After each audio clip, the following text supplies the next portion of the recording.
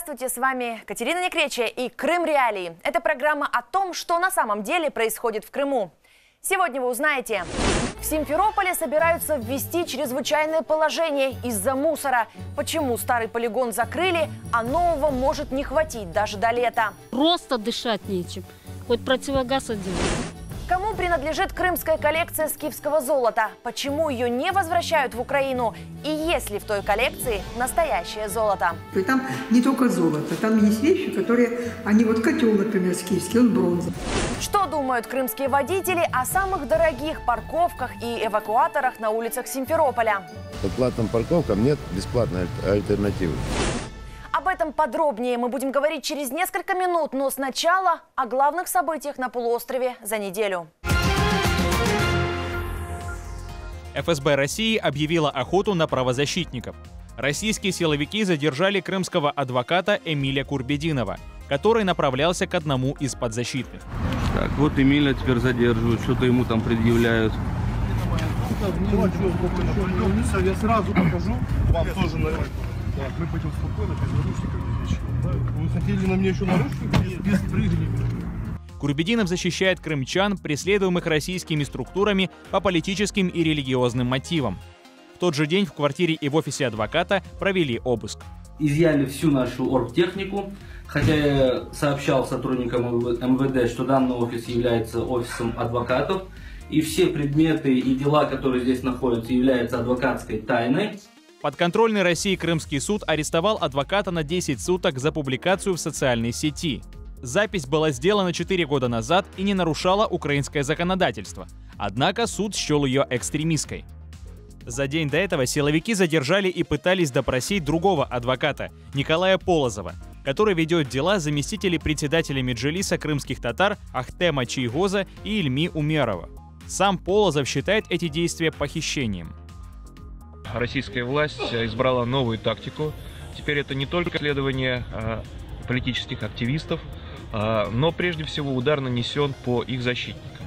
Керченский мост в процессе строительства, а российские власти уже планируют украсить территорию рядом с ним памятником примирению к столетию Октябрьского переворота. Памятник должен символизировать примирение потомков белых и красных, но макета еще нет. А Что касается сроков установки, тут торопиться не надо. У нас нет задачи открыть к 7 ноября вот, какого-то конкретного года. Самое главное, чтобы проект был достоин. Ждут памятника и в Ялте, но уже американскому президенту Франклину Рузвельту. Бюст был изготовлен еще полвека назад, но хранился в запасниках Ливадийского дворца. В Симферополе снова подорожает проезд на троллейбусе. В начале года цену на этот вид общественного транспорта подняли до 12 рублей. Летом билет будет стоить 14. Крымские власти объясняют это тем, что парк обновляется и цены на электричество растут. На Арабатской стрелке зафиксировали уникальное явление – гелевый шторм. Море замерзает, и вода при этом становится похожей на гель.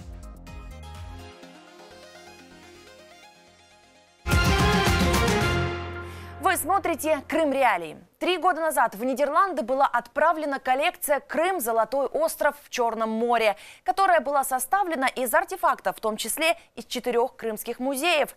После российской аннексии представители Крыма требовали вернуть золото на полуостров, но Нидерландский суд решил передать коллекцию в Киев.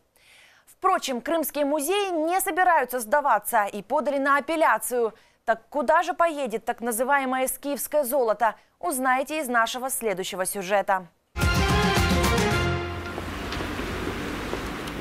Вместо экспонатов – таблички с их нынешним адресом. Здесь все что угодно. Бляшки на плащи, колты, серьги, колечко. Это носили скифы – кочевники, которые жили на полуострове в средние века. Их украшения и элементы быта показывают посетителям музея Тавриды. Часть скифского золота до сих пор в Нидерландах, сокрушаются музейные работники. Я, наверное, из музея уволюсь, если хотя 35 лет проработал. Это просто ужас. Скифские древности из пяти музеев, крымских и киевского, собрали в коллекцию три года назад. Не успели ее выставить в археологическом музее Алларда Пирсона в Амстердаме, как случилась аннексия полуострова. Голландцы растерялись, кому возвращать сокровища. Кто настоящий владелец, разбирается Амстердамский суд. Сотрудники Крымского музея обсуждают последние новости из Нидерландов. Суд не в нашу пользу выиграл это, а ну мы надеемся, что будет. Но там не только Симферополь, там и Бахчисарай, там и Керчь, и Феодосия, всего понемножку. И там не только золото, там есть вещи, которые, они вот котел, например, скифский, он бронзовый, он не, не это. Он не, не золотой, никакой, он просто бронза, зеленая, потемневшая. Но он редкий. Конечно, такие вещи уникальные, жалко. Пока что решили в Киев отправить. А, подали апелляцию. Как будут рассматривать там, неизвестно. В середине декабря окружной суд Амстердама решил вернуть экспонаты Украине. Правда, Киеву выставили счет за хранение коллекции. Это более сотни тысяч евро. Крымские музейщики не согласились с решением Фемиды и подали апелляцию. Крымские музеи исходят из того, что спорные предметы, о которых идет речь, они были найдены на территории Крыма. Э, эти предметы хранились и изучались всегда в крымских музеях. Возможная передача вещей из э, целостных коллекций э, в украинский музей, например, или вообще на территорию Украины, приведет к нарушению целостности музейных коллекций. Скифское золото – часть Украинского культурного фонда, настаивают в Киеве. Кримські музеї е, допустили методологічну помилку. Вони не врахували один пункт, що випускала, давала ці речі за кордон, давала дозвіл на ці виставки і вивезення цих речей держава Україна. Це раз. А по-друге, вони не врахували той факт, що згідно з українським законодавством музеї не є власниками наявних в них культурних цінностей, якщо це державні музеї або муніципальні. В украинском Минкульте ожидают возвращения скифского золота до конца года. Уже нашли место для экспозиции в Национальном историческом музее. Ми збираємося цій виставці присвятити весь останній поверх. У нас тоді будуть трохи перероблений вхід і вихід, щоб люди могли по колу йти. Здесь хотят разместить свыше полутысячи артефактов. Золотые украшения, резные шкатулки, оружие и драгоценные камни. Для экспонатов обустроят дополнительные выставочные залы. Если только государство даст денег. Показати всі ті артефакти, які повернуться в Україну. Тобто повторити амстердамську виставку, можливо, в іншій композиції, але в нашому музеї. Ми обговорювали це питання, скільки ця виставка може тривати. Я вважаю, що вона повинна тривати кілька років, два-три роки, мабуть, цього достатньо, поки буде ажіотаж, розмови довкола цієї виставки, і її експонування тут буде підігрівати бажання і киян, і гостей столиці, і навіть іноземних туристів відвідати цю виставку. В Киеве даже готовы отвезти скифское золото в Крым, при условии, что полуостров вернется под контроль Украины. Кому все-таки достанется коллекция, зависит от решения нидерландской Фемиды. Против Украины то, что она не ратифицировала ряд международных соглашений о защите культурных ценностей во время вооруженных конфликтов. А против России – декабрьская резолюция Генассамблеи ООН. Там мир назвал страну государством-оккупантом, а Крым и Севастополь – временно оккупированной территорией. Алена Сорока, Владимир Паутов для Крым Реалии. С нами на связи по скайпу первый заместитель министра информационной политики Украины Эмине Джапар. Добрый день, Эмине. Итак, когда будет решена судьба этой коллекции? Сейчас очень сложно прогнозировать, однако мы предполагаем, что это перспектива как минимум годичной давности, потому что процедурно это так. А, несколько недель назад наши адвокаты, защитники Украины, голландские защитники, получили от а, информацию о том, а, оповещение о том, что крымские музеи будут подавать апелляцию.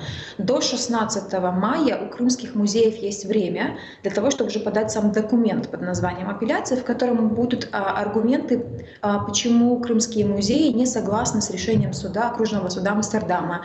И у Украины после этого будет 6 недель для того, чтобы а, подать свой ответный документ, в котором они изложат свои аргументы а, с, по своей позиции. И мы предполагаем, что это будет какой-то период обмена таких вот, да, бюрократического обмена, письменного обмена позиций.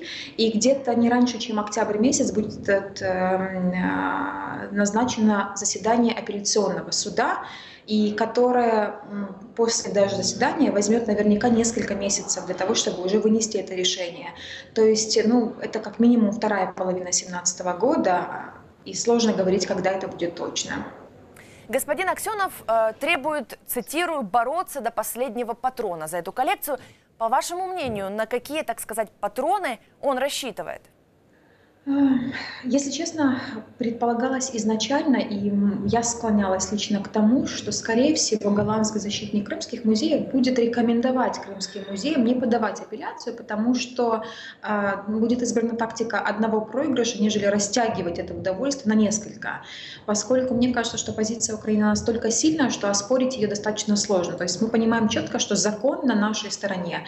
Какие аргументы будет находить российская сторона в лице крымских этих музеев сложно, потому что вот если возвращаться к заседанию окружного суда, их защита строилась на том, что да, есть факт оккупации, его признают, а, в том числе крымские музеи, потому что они украинские музеи, они вне политики, да, они понимают эмоциональную сторону украинской э, страны, украинцев, но при этом они ведь не виноваты, что оккупация произошла. И полностью защита выстраивалась на том факте, что артефакты скифского золота носят сакральное значение для народа Крыма. Потом прилагалась целая юридическая экспертиза одного из профессоров российских, в, котором, в которой он пытался доказать, что статус автономной республики Крым, а, он особенный, а значит а, музейный фонд а, Крыма или музеев, да, которые в Крыму принадлежит народу Крыма. Хотя по законам Украины артефакты принадлежат музейному фонду Украины, а значит народу Украины.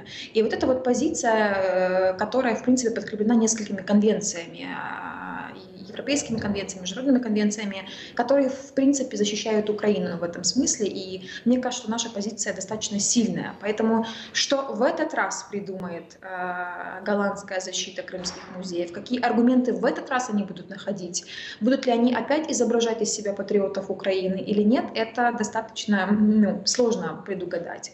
Но я думаю, что, конечно же, учитывая, что мы даже по тем откликам, которые были в СМИ, а это достаточно резонансное дело, и что как там до последнего, до последней пули, или, то есть э, мы понимаем, что крымские музеи избрали для себя, в их лице, конечно, оккупационная власть, избрали политику э, любыми любыми способами, любыми силами попытаться вернуть эти артефакты. В это они будут вкладывать очень много средств, финансов, энергии, давления. Я думаю, что э, для них это вопрос не сколько защиты артефактов, сколько политический вопрос.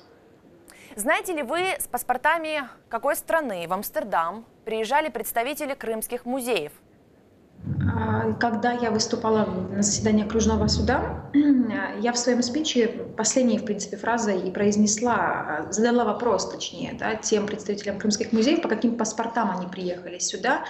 Ответ на них я не получила, но а, до этого представители крымских музеев, которые выступали, они говорили, один из них, Никита Храпунов, говорил, что он гражданин Украины, что он а, ходил на референдум, что он голосовал за Украину, то есть таким образом косвенно, наверное, намекая, что якобы он приехал по украинскому паспорту. Однако э, я лично эти паспорта не видела, поэтому сложно утверждать, какой паспорт с каким паспортом они приехали, ну, въехали в Голландию.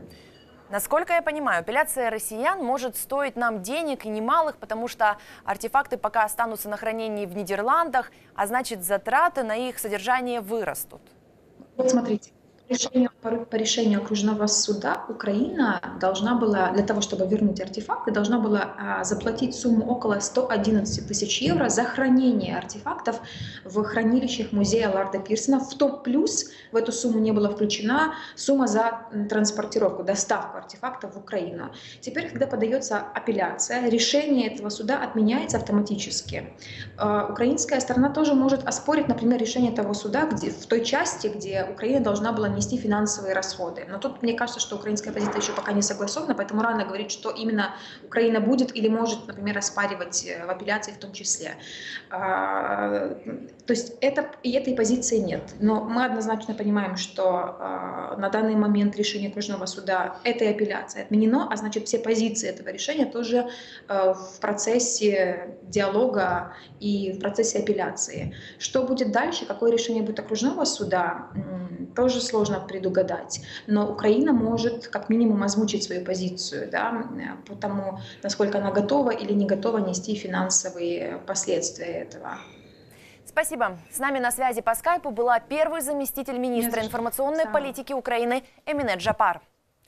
Это Крым Реалии, и дальше мы расскажем о таком.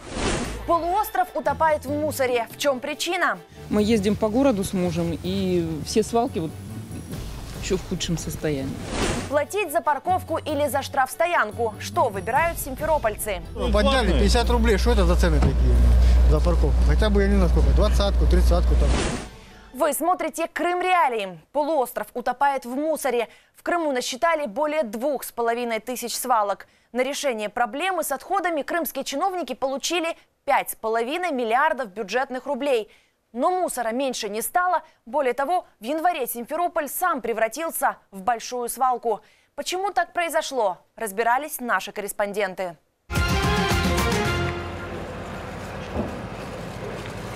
Три недели подряд крымская столица выглядит как одна сплошная свалка. Сначала местные коммунальщики не вывозили мусор, потому что вместе со всеми больше недели праздновали Новый год. Потом власти закрыли городской полигон твердых бытовых отходов. Мы приехали к контейнерной площадке в одном из спальных районов. Где-то до Нового года было вот так. Хорошо. А сейчас не знаю, что случилось. Мы за это платим деньги за уборку, за все. Это везде, кстати. Мы ездим по городу с мужем, и все свалки вот еще в худшем состоянии. Что в хозяйстве муниципальном денег не хватает, вот людей не хватает, и они просто не успевают убирать. Городские власти критикуют даже лояльные им общественники. Никто не подготовился, ничего не, не сделали планомерно, нормально. Поэтому сейчас ситуация близка к такой чрезвычайной. С советских времен весь городской мусор свозили в Каменку. Это микрорайон на окраине города. Здешний полигон продолжал работу даже после того, как исчерпал свои ресурсы.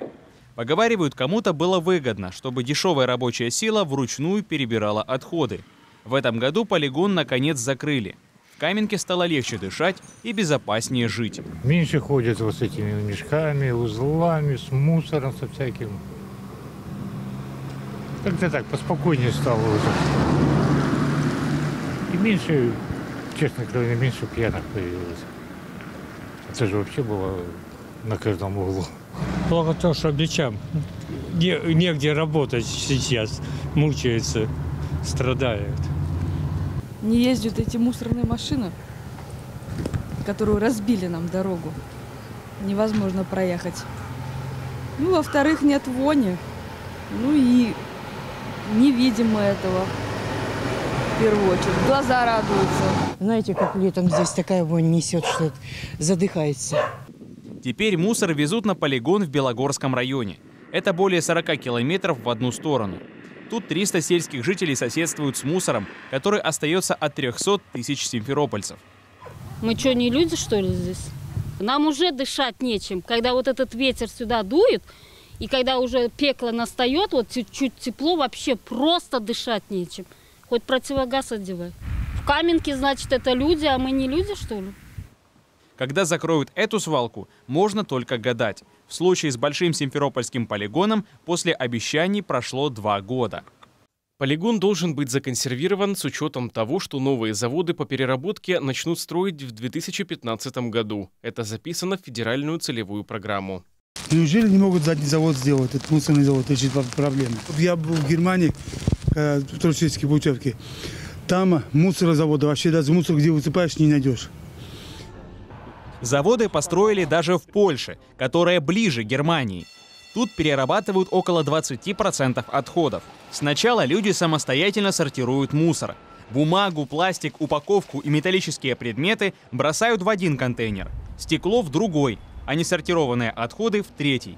На заводе из мусора отбирают материал, годный для переработки. Остальное сжигают и получают энергию. Используют даже шлак из печей, в частности, при строительстве дорог. Сейчас мы производим электроэнергию для нужд завода, а также продаем эту энергию в сеть. Ее хватает, чтобы обеспечить электричеством около трех тысяч домов. Наш завод присоединен к городской системе, и благодаря теплу, которое мы производим, обогревается часть Варшавы. Симферополь не Варшава, и местные ищут виновных в мусорных завалах. Отличное состояние в кавычках. Но это сами люди виноваты. Надо это как-то все аккуратненько все складывать, тогда, думаю, проблем бы не было. К сожалению, у нас люди пока еще не воспитаны. Они не любят то место, в котором живут. В начале года в Симферополе подняли тарифы на вывоз мусора. Люди уже платят больше за то, что остается неубранным. В ближайшее время подконтрольной России крымские власти хотят рекультивировать еще четыре полигона. Помимо Симферополя, свалки закроют в Керчи, Старом Крыму, Алуште и Саках. Планах и открытие мусороперерабатывающего завода. Его, как и три года назад, обещают построить в Каменке. Артур Гасприн, Александр Шевченко для Крым Реалии. В Симферополе очередное улучшение жизни уже сегодня. В декабре там стартовала принудительная эвакуация автомобилей. Ежедневно на штрафплощадку забирают около 30 неправомерно припаркованных авто. А будет еще больше после того, как поднимут цены за пребывание на штрафплощадке. Ну а пока у симферопольских водителей выбор небольшой. Либо штрафплощадка, либо плата за парковку в центре города по 100 рублей в час. Устраивает ли местных жителей такая ситуация? Далее в вопросе.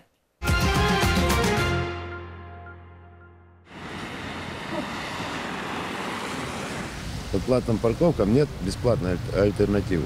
Либо ставить знаки, под которыми ставить автомобили нельзя, и стоят и знаки эвакуации автомобилей. Будет альтернатива платным парковкам. Будет прекрасно, а ее просто нет. Прекрасно. Готов платить, водите быстрее. Меньше пробок будет. Считаю. Во всем мире так решают, почему бы нам так не решать? А стоимость, как думаете, какая должна быть? В пределах, может быть, ну, 50 до 100. Э, Ну, она дол- должна быть дифференцирована, зависит от э, времени суток. Э, Час пик, понятно, э, ночью другой, а может ночью вообще не нужно делать. Какая часть нужна, наверное. В любом случае. Где-то платные, где-то бесплатные. Все должно быть равномерно распределено. Ну, парковки нужны. Места мало очень. Платить неохота. Дороговато. Да, точно. Это где будет? Дешевле делайте парковки. Пускай они будут подняли, платные. 50 рублей. Что это за цены такие ну, за парковку? Хотя бы, я не знаю сколько, двадцатку, тридцатку там в час.